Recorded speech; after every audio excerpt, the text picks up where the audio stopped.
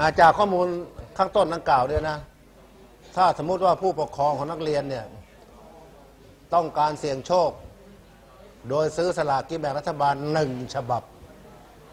นักเรียนลองช่วยกันคิดซิว่าโอกาสที่ผู้ปกครองของนักเรียน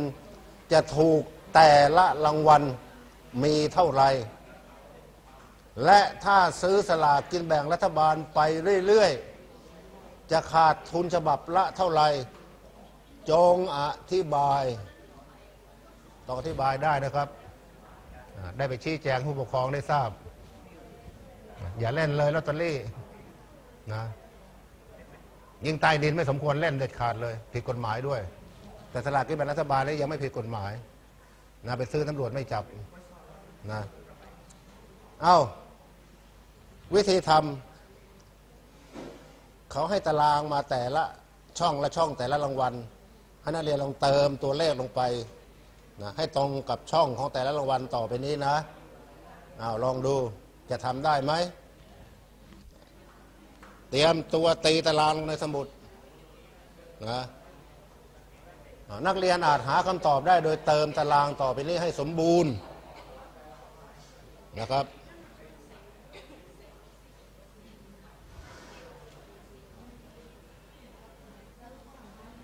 หาตีตารางดิฮะเดี๋ยวไม่ทันนะอันที่สองมันตีปั๊บปั๊บปั๊บไปเลย แค่สี่ช่องนั่นเองนะเอาตีไปเลยเอานี่ตารางนี่นี่สี่ช่อง ช่องช่องแรกก็เกี่ยวกับเหตุการณ์นะช่องช่องที่สองก็ผลตอบแทนนะเป็นเงินนะเป็นบาท ช่องที่สามความน่าจะเป็น ความที่สี่ก็เป็นช่องค่าคาดหมายที่จะได้รับ ค่าคาดหมายก็คือ หาได้จากผลตอบแทนคูณด้วยความน่าจะเป็นนั่นเองกติละลาลงไปเรื่อยๆเร็วๆนะเราจะเอาตั้งแต่รางวัลที่หนึ่งจนถึงรางวัลเลขท้ายสองตัวมาคิดนะไปจนหมดสิ้น และรวมค่าคาดหมายทั้งหมดที่ได้รับ แต่รางวัลนี้ดูนะว่ามันมีเท่าไหร่ แล้วเราซื้อลอตเตอรี่เราจะขาดทุนหรือเสียเปรียบมากน้อยเพียงใดนะ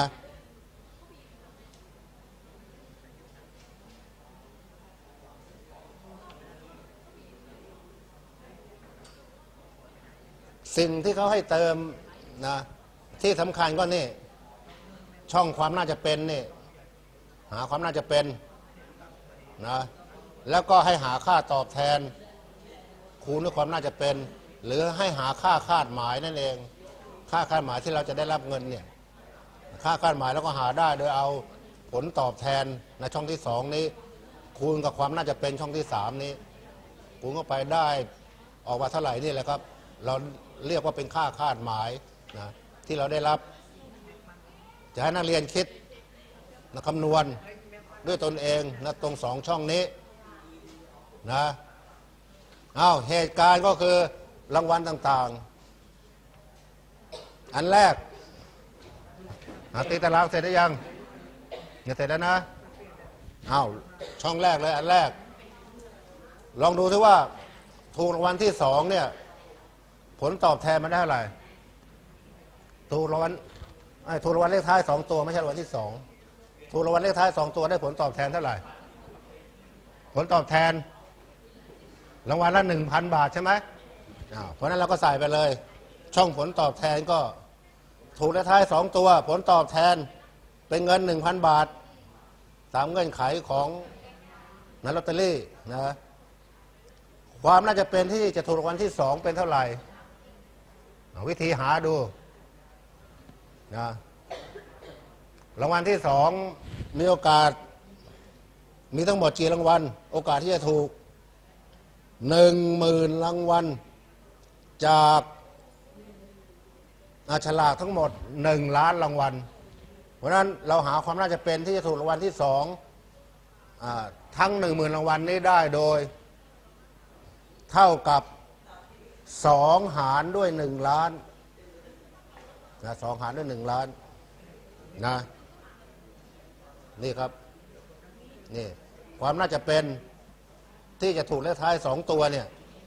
เลขท้ายสองตัวนี่มีทั้งหมดหนึ่งหมื่นรางวัลใช่ไหม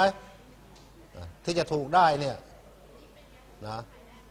จากจำนวนทั้งหมดหนึ่งล้านรางวัลเนี่ยก็ความน่าจะเป็นที่จะถูกเลขท้ายสองตัวก็หนึ่งหมื่นหารด้วยหนึ่งล้าน หรือจะหาอีกวิธีหนึ่งก็ได้ โอกาสที่จะถูกรางวัลที่สองหรือความน่าจะเป็นเออขอโทษ ความน่าจะเป็นที่จะถูกเลขท้ายสองตัวนี้เราจะใช้หนึ่งหารด้วยหนึ่งร้อยก็ได้ เพราะอะไร เพราะว่ารางวัลเลขท้ายสองตัวนั้นมันมีแค่หนึ่งครั้ง จากทั้งหมดที่มันสามารถออกมาได้ทั้งหมดหนึ่งร้อยครั้ง จากศูนย์ศูนย์ถึงเก้าเก้ารวมแล้วหนึ่งร้อยหนึ่งร้อยผลลัพธ์ทั้งหมดที่ออกวันที่สองทั้งหมดมีผลลัพธ์ทั้งหมดหนึ่งร้อย แต่ว่ารางวัลที่สองนั้นมีรางวัลเดียว เพราะนั้นหาความน่าจะเป็นที่จะถูกเลขท้ายสองตัวก็หนึ่งหารด้วยร้อยก็ได้ หรือจะเอาหนึ่งหมื่นหารด้วยหนึ่งล้านแบบนี้ก็ได้นะถ้าเอาหนึ่งหมื่นหารหนึ่งล้านนี่ก็แสดงว่าเป็นไง ที่จะถูกรางวัลในท้ายสองตัวได้นั้นมันมีอยู่ทั้งหมดหนึ่งหมื่นฉบับ จากนักสลากทั้งหมดหนึ่งล้านฉบับ ราะนั้นความน่าจะเป็นที่จะถูกเลขท้ายสองตัวก็หนึ่งหมื่นหารด้วยหนึ่งล้าน ถ้าตัดศูนย์ออกไปทั้งบนทั้งล่างนี้สี่ตัวนะตัดออกไปสี่ตัว มันก็จะเหลือเป็นเศษหนึ่งส่วนร้อยนั่นเอง เห็นไหมครับ เหลือแต่หนึ่งส่วนร้อยนะเท่าไหร่เนี่ยโอกาสที่จะถูกรางวัลเลขท้ายสองตัวมีเท่าไหร่ คิดมาเป็นทศนิยมเลยนะก็เท่ากับ 0.01นะ0.01 นะควาน่าจะเป็นที่จะถูกเลขท้ายสองตัวมีแค่ 0.01 เอาหาผลตอบแทน หรือเงินที่จะได้จากการถูกเลขท้ายสองตัว มันเป็นเท่าไหร่นะค่าตอบแทนที่จะถูกรางวัลเลขท้ายสองตัวนี้นะเท่าใดนะแล้วก็เอาผลตอบแทนนะเลขท้ายสองตัวคือพันบาทนี้ คูณกับความน่าจะเป็นของเลขท้ายสองตัวคือ 0.01 เข้าไปนะเราก็หาได้นะครับ เพราะนั้นช่องสุดท้ายก็ออกมาได้เป็น 1,000 คูณด้วย 0.01 เนี่ยง่าย ๆ วิธีหานะ1,000 คูณด้วย 0.01นี่ได้แล้วผลตอบแทนคูณด้วยความน่าจะเป็น ก็จะได้เงินค่าคาดหมายที่เราได้รับ ในการที่ถ้าเราถูกเลขท้ายสองตัว ออกมาได้เท่าไหร่ครับเนี่ยเงินค่าตอบแทนก็นี่นี่นหนึ่งพันบาทนี่มาจากไหนเนี่ยหนึ่งพันบาทก็มาจากผลตอบแทนเนี่ยเห็นไหมครับเนี่ยเลขนี้นี่หนึ่งพันบาท0.01มาจากไหน0.01ก็คือความน่าจะเป็นที่ถูกเลขท้าย2ตัวมีค่าเท่ากับ0.01นี่ เอาคูณกันเข้าไป ตรงหัวตารางเขาบอกอยู่แล้วเนี่ยผลตอบแทนคูณความน่าจะเป็น ออกมาได้เป็นค่าคาดหมาย ในการถูกเลขท้ายรางวัลที่2มีเท่าไหร่ครับ เท่ากับ10 10นะค่าคาดหมายนะที่จะได้รับเงินนะถ้าถูกเลขท้ายสองตัว มีแค่สิบบาทนะมีแค่สิบบาทนะ ต่อไปทีนี้มาดูเลขท้ายสามตัวบ้าง เอาเร็วๆ มันมีหลายรางวัล เรารู้หลักการ แต่ละรางวัลและวิธีหาเนี่ยนะทุกๆรางวัลก็วิธีการคิดคำนวณก็เหมือนกันนี่แหละนะเอามาดูเลขท้ายสามตัว ถูกรางวัลเลขท้ายสามตัว ผลตอบแทน ได้เงินรางวัลละสองพันนี่ความน่าจะเป็นที่จะถูกเลขท้าย อ่าสามตัวไปเท่าไหร่ โอกาสอ่ารางวัลที่ถูกเลขท้ายสามตัวมีทั้งหมดสี่พันรางวัล จากลอตเตอรี่ทั้งหมดหนึ่งล้านฉบับ เพราะฉะนั้นความน่าจะเป็นที่จะถูกเลขท้ายสามตัวก็เท่ากับสี่พันหารด้วยหนึ่งล้านนะสี่พันหารด้วยหนึ่งล้าน ได้เท่าไหร่เนี่ยศูนย์จุดเท่าไหร่ศูนย์จุดศูนย์ศูนย์สี่ ตัวยมสามตำแหน่งนะเพราะนั้นความน่าจะเป็นที่จะถูกรางวัลเลขท้ายสามตัวมี 0.004 น้อยมาก ผลตอบแทน หรือค่าคาดหมายที่จะได้รับ จากการถูกเลขท้ายรางวัลที่สามเป็นเงินเท่าไหร่ ก็เอาผลตอบแทน 2,000เนี่ยคูณกับความน่าจะเป็นของมัน คือคูณด้วย 0.004 คูณออกมา มันจะโยมสารตำแหน่งก็ ปัดไป ได้ผลลัพธ์สุดท้ายเป็นเท่าไหร่ผลตอบแทน ผลตอบแทนแค่8นั่นเองนะผลตอบแทนหรือค่าตอบแทนที่ถูกรางวัลเลขท้าย3ตัวมีนะมีเพียง8บาทนั่นเองนะครับ ต่อไปมาดูไอ้ถูกรางวัลข้างเคียงรางวัลที่หนึ่ง รางวัลข้างเคียงรางวัลที่หนึ่งมันมีผลตอบแทนห้าหมื่นบาทใช่ไหมรางวัลละห้าหมื่นบาท นี่รางวัลข้างเคียงรางวัลที่หนึ่งมันมีสองรางวัลจากหนึ่งหนึ่งล้านฉบับเนี่ยมีสองรางวัล เพราะฉะนั้นความน่าจะเป็นที่จะถูกรางวัลข้างเคียงรางวัลที่หนึ่งก็เท่ากับสองส่วนล้านนี่สองส่วนล้าน เท่ากับเท่าไหร่ครับสองส่วนล้านนี่นะ ทยมกี่ตำแหน่งเนี่ยหกตำแหน่งสองตั้งหารได้หนึ่งล้านนะนะเราทำให้ทศยมดูก็ได้เป็นศูนย์จุดศูนย์ศูนย์ศูนย์ศูนย์ศูนย์สองนะความน่าจะเป็นที่จะถูกรางวัลข้างเคียงรางวัลที่หนึ่งผลตอบแทนคูณด้วยความน่าจะเป็นออกมาเป็นค่าคาดหมายนะที่เราจะได้รับจากการถูกรางวัลข้างเคียง รางวัลที่หนึ่งก็เอาห้าหมื่นคูณกับความน่าจะเป็นนี่เข้าไปนะความน่าจะเป็นมันเป็นสองหารด้วยล้านใช่ไหมล่ะ คูณได้ห้าหมื่นผลตอบแทน ตัดศูนย์ทิ้งไปสี่ตัวนะตัดศูนย์ทิ้งไปสี่ตัวใช่ไหมมันก็จะเป็นห้าคูณสองหารด้วยหนึ่งร้อยได้ค่าตอบแทนเท่าไหร่ครับ ได้ค่าคาดหมายเท่าไหร่0.01นะ0.01จดให้ทันนะ เอาต่อไป ถ้าให้นักเรียนลองทำเองได้ไหมเนี่ย คิดเองทำเองเติมไปเองได้ไหม วิธีทำก็เหมือนกันนะความรู้เรื่องน่าจะเป็นแล้วก็เรียนมาแล้วนะการหาค่าคาดหมายแล้วก็เรียนมาแล้ว ไม่ยากเลยเลยนะเอาต่อไปมาดู รางวัลที่สองในรางวัลที่สองในรางวัลที่สองในรางวัลที่ห้าก่อนเด้ออะรางวัลที่ห้าเอารางวัลที่ห้าเป็นไงครับ ผลตอบแทนได้เงินถ้าถูกรางวัลละเท่าไหร่ หนึ่งหมื่นอ่านี่ความน่าจะเป็นที่ถูกวัลที่ห้าล่ะรางวัลที่ห้ามันมีนะมันมีที่จะถูกได้มีทั้งหมดหนึ่งร้อยรางวัล จากทั้งหมดหนึ่งล้านรางวัลความน่าจะเป็นที่จะถูกรางวัลที่ห้าก็เท่ากับหนึ่งร้อยหารด้วยหนึ่งล้านนะหนึ่งร้อยหารด้วยหนึ่งล้านนี่ออกมาได้เท่ากับศูนย์จุดศูนย์ศูนย์ศูนย์หนึ่ง ความน่าจะเป็นที่จะถูกรางวัลที่ห้านะ มีน้อยเหลือเกินตัวยมสี่ตำแหน่งด้วยอ้าวค่าคาดหมายที่จะได้เงิน จากรางวัลที่ห้ามีเท่าไหร่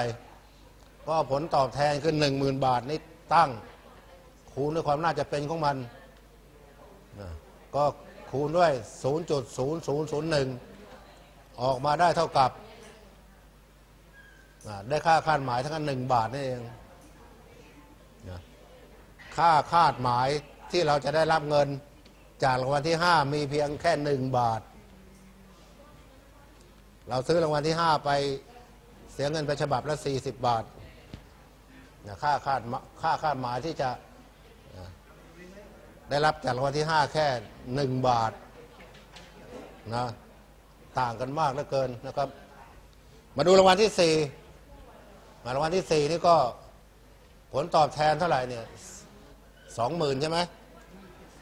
สองหมื่นรางวัลที่สี่นี่มันมีกี่รางวัลฮะรางวัลที่สี่มีกี่รางวัลห้าสิบรางวัลจากทั้งหมดหนึ่งล้านในฉบับขวัญน่าจะเป็นที่ถูกรางวัลที่สี่ก็เท่ากับ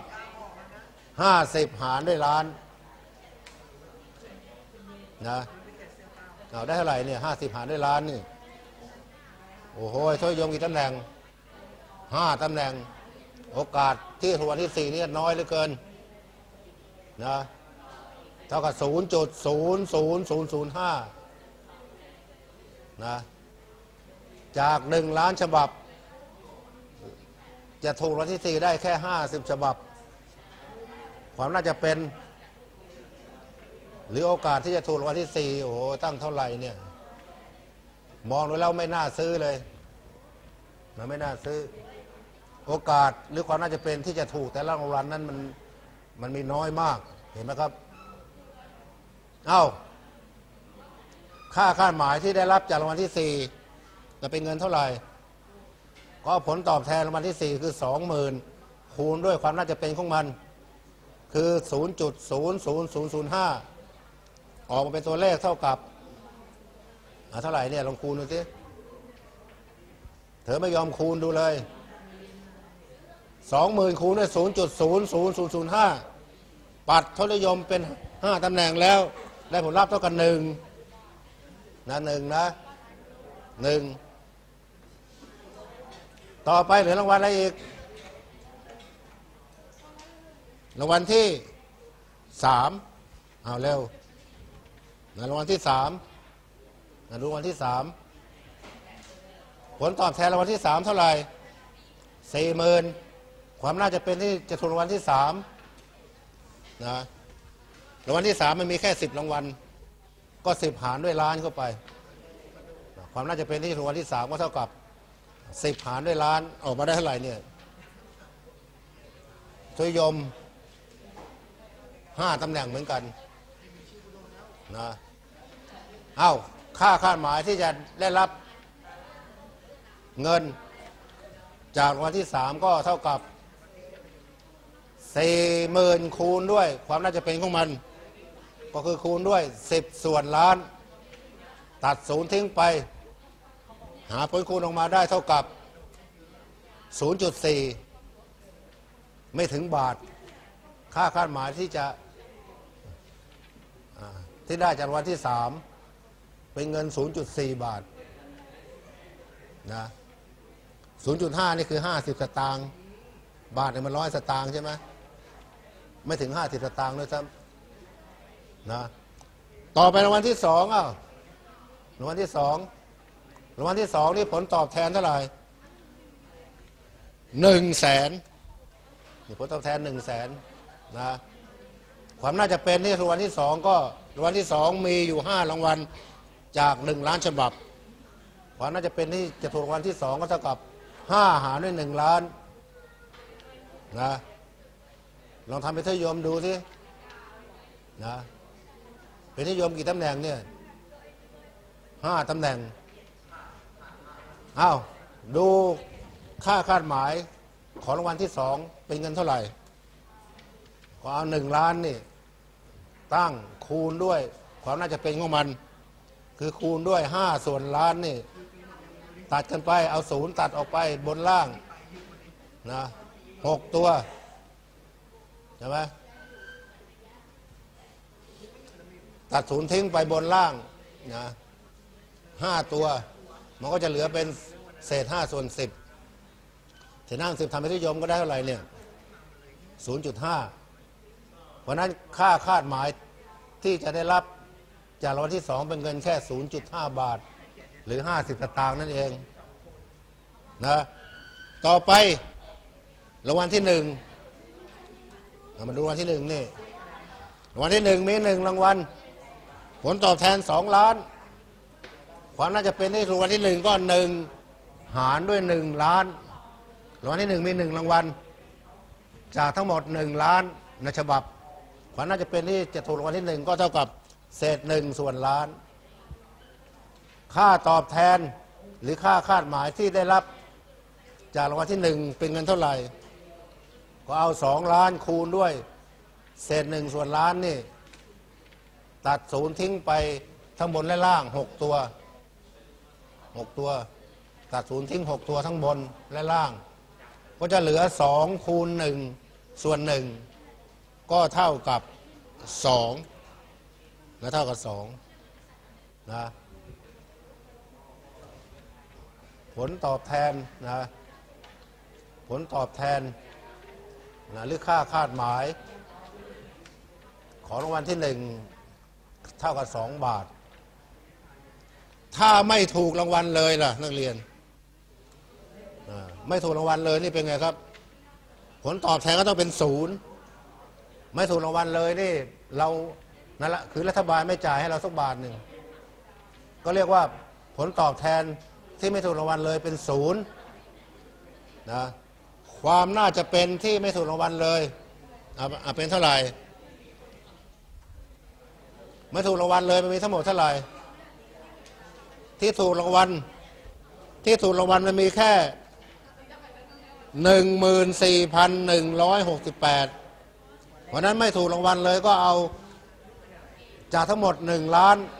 นฉบับตั้ง ลบด้วยที่ถูกรางวัลคือหนึ่งหมื่นสี่พันหนึ่งร้อยหกสิบแปดก็จะเหลือที่ไม่ถูกรางวัลเลยเป็นจำนวนเก้าแสนแปดหมื่นห้าพันแปดร้อยสาสิบสองในฉบับ ที่ไม่ถูกรางวัลเลยอะจากล้านฉบับเนี่ยมีถูกแค่หมื่นสี่พันกว่าฉบับ ราะนั้นที่ไม่ถูกเลยก็เอาหนึ่งล้านตั้งลบด้วย 14,168 ที่ถูกนั้น ก็จะเหลือที่ไม่ถูกเลยทั้งหมด 985,832 ฉบับ หาความน่าจะเป็นที่ไม่ถูกรางวัลเลยมีเท่าไหร่ ก็เอาจำนวนที่ไม่ถูกรางวัลเลยคือ 985,832 ตั้งหารด้วยทั้งหมด 1 ล้านฉบับ นะก็ได้ความน่าจะเป็นที่ไม่ถูกรางวัลเลยออกมา ผลตอบแทนที่ไม่ถูกรางวัลเลยก็ศูนย์คูณด้วยนี่ศูนย์คูณด้วยความน่าจะเป็นของมันนี่ศูนย์คูณกับอะไรก็ตามได้ผลลัพธ์มาเป็นศูนย์นะนี่เป็นศูนย์เราก็จะเห็นว่าเป็นไงครับ ไม่ถูกรางวัลเลย ค่าตอบแทนเป็นศูนย์เสร็จแล้วนักเรียนลองเอาเอาเอาค่าตอบแทนที่ได้ แต่ละรางวัลเนี่ย คือผลลัพธ์ของช่องสุดท้ายทั้งหมด ทุกรางวัลบวกกันดู มันได้ค่าตอบแทนทั้งหมดเท่าไหร่นะอ้าวหมดทุกรางวัลแล้วมาดูค่าตอบแทนทั้งหมดนี้ค่าคาดหมายของการซื้อสลากหนึ่งฉบับ เท่ากับเท่าไหร่ ก็เอาค่าคาดหมายของทุกช่องเนี่ยของทุกรางวัลเนี่ยบวกกันเข้าไป จะได้ค่าคาดหมายของการซื้อสลากหนึ่งฉบับ เป็นเงินแค่ยี่บสามบาทเท่านั้นเองนะครับเป็นเงินแค่ยี่บสามบาทนะเพราะนั้นในการซื้อสลากกินแบ่งรัฐบาลหนึ่งฉบับ เราได้ค่าคาดหมายที่จะได้รับเงินนะแค่ยี่บสามบาท แต่เราลงทุนซื้อฉบับละสี่สิบบาทใช่ไหมลงทุนซื้อฉบับละสี่สิบบาท ดูดูความแตกต่างต่อไปนี้ นะแล้วนักเรียนก็ลองดูว่าเราสมควรจะซื้อนสลากกินแบ่งรัฐบาลหรือไม่นะจะเห็นว่าค่าคาดหมายที่ผู้ปกครองจะได้เงินจากการซื้อสลากหนึ่งฉบับ เท่ากับยี่สามบาท ดังนั้นถ้าซื้อสลากกินแบ่งรัฐบาลไปเรื่อยๆ จะขาดทุนฉบับละ 40นะลบ 23 คือขาดทุนฉบับละ 17 บาท นะถ้าไม่ถูกเลยนะ จะขาดทุนหลักฉบับละสิบเจ็ดบาทสิบเจ็ดบาทเรื่อยไป น่าซื้อไหมไม่น่าซื้อ นอกจากนฟุกฟุกโชคดี ซื้อหนึ่งฉบับเกิดถูกขึ้นมาอันนั้นก็แล้วไปนะถือเป็นโชคนะเพราะฉะนั้นเราจะอธิบายให้ผู้ปกครองได้ก็โดยลักษณะนี้แหละครับนะอาสรุปเลย ถ้าเราซื้อสลากกินแบ่งไปเรื่อยๆจะขาดทุนฉบับละ17บาทนะ ขาดทุนนะไม่มีได้กำไรหรอกบางคนซื้อมาตั้งกี่ปีไม่เคยถูกเลยก็มีอาสรุป